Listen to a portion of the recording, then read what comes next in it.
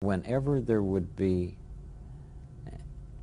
any really cat catastrophe that was uh, on the, in the movies or, or on the air, she would say, always look for the helpers. There, were, there will always be helpers. Welcome to Values. I'm Shakeel Dalal. I'm here today with Marc Cowell of the OUR Center. We're interviewing helpers this week, people who are diving into their responsibilities to the community, not shirking away in a time of crisis, but instead committing themselves to the community to help.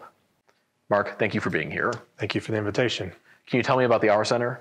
Sure. We're a family resource center that serves individuals and families who live in the St. Vrain Valley School District. Um, and basically, as a family resource center, we provide resource and referrals to families who've hit a bump in the road, who find themselves suddenly vulnerable to having to make difficult decisions between what bills to pay, what bills they can't pay, or have suddenly found themselves in crisis. Um, for instance, maybe they have an eviction notice or a shut off notice in hand and they're not sure where to go or where to turn to get through that crisis. How long have you been here? Uh, since July 1st.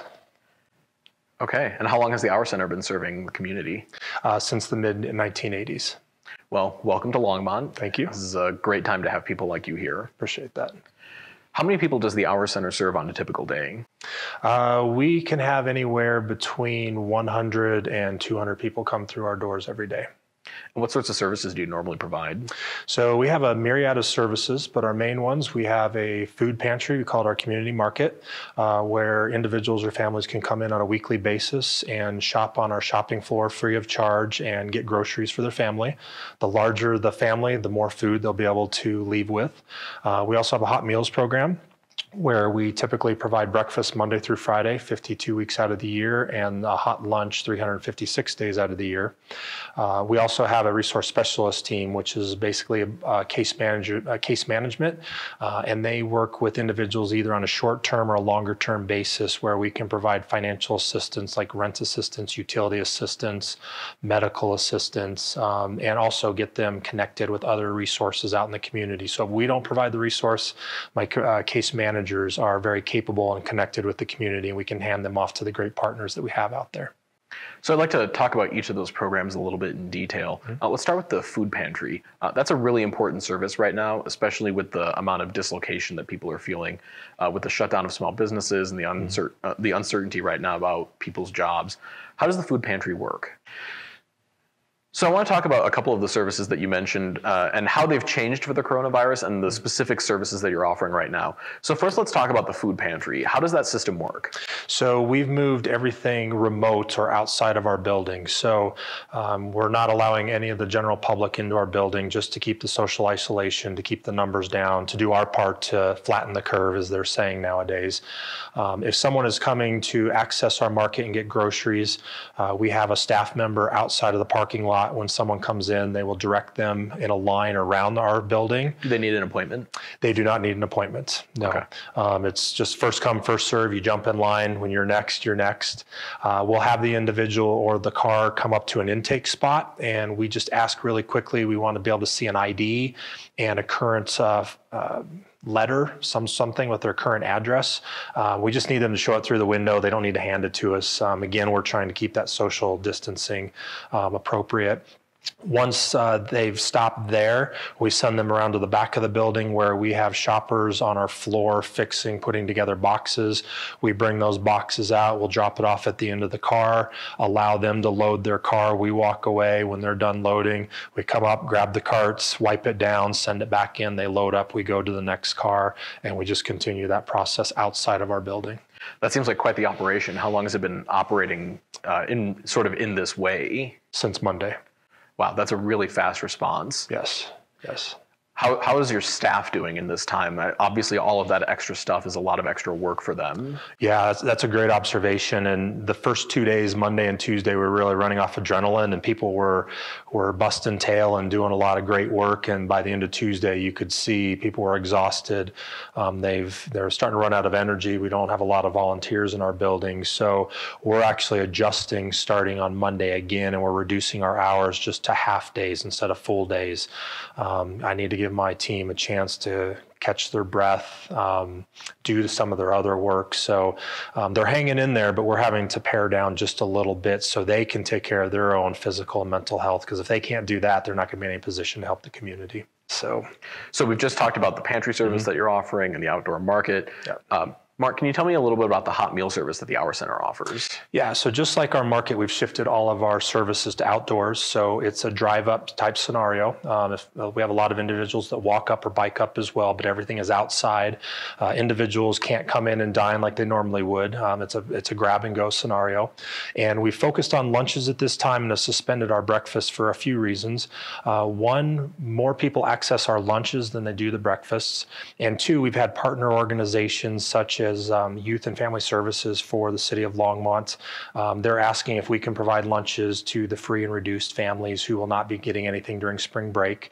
And we've had a couple of our nonprofit partners saying they need to suspend services because of the COVID 19 virus.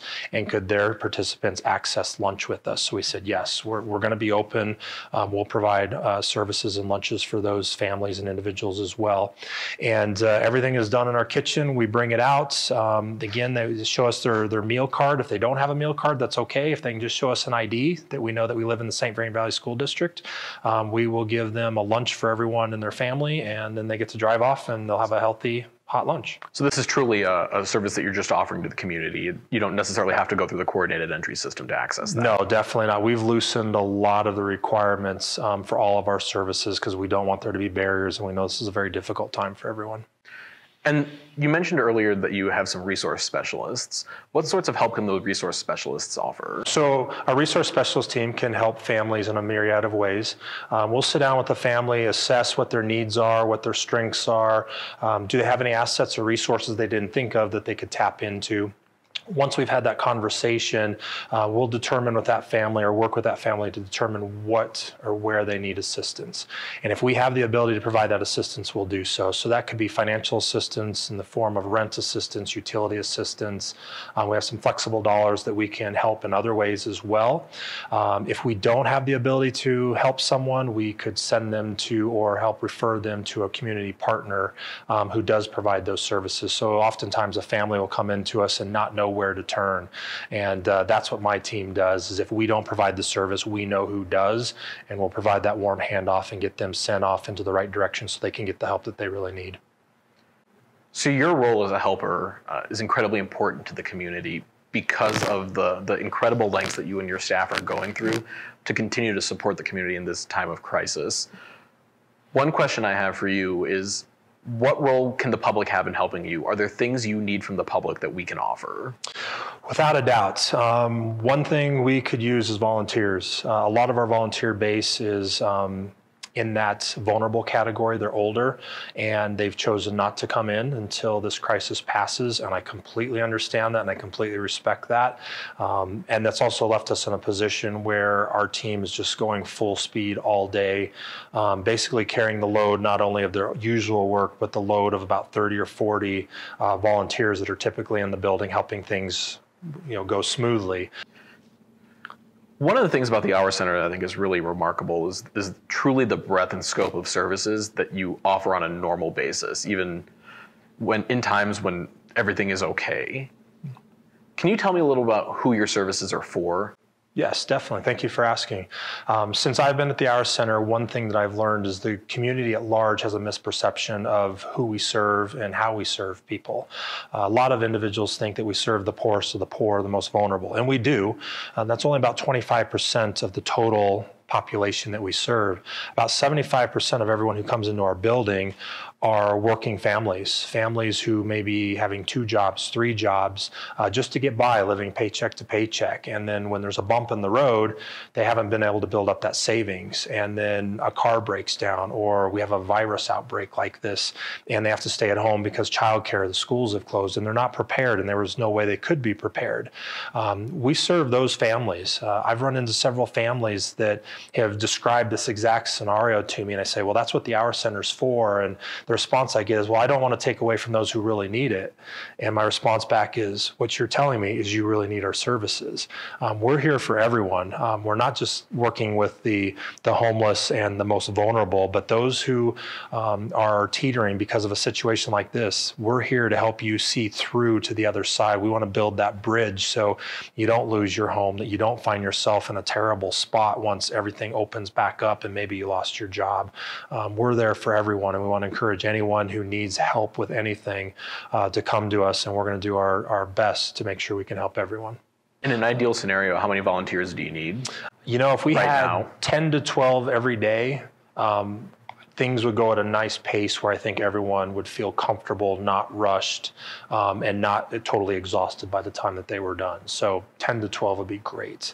Um, food, of course, uh, we've seen that our donations have dried up. You normally every day we've got people ringing our back doorbell, bringing us groceries that they've picked up at the store, which is awesome.